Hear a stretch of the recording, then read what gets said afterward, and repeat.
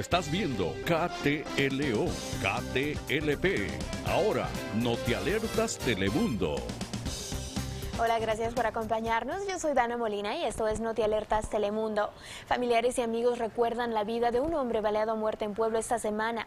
Isaiah Vialpando, de 20 años, se graduó de la Escuela Dolores Huerta Preparatoria en el 2013 y acudió a CSU Pueblo.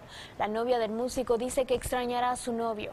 Vialpando fue baleado en el centro de Pueblo el miércoles por la tarde, cerca de las calles Second y Court.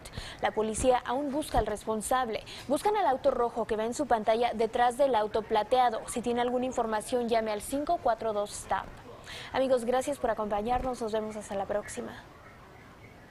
KTLO, KTLP, Telemundo, su noticiero en el sur de Colorado, donde las noticias son lo primero.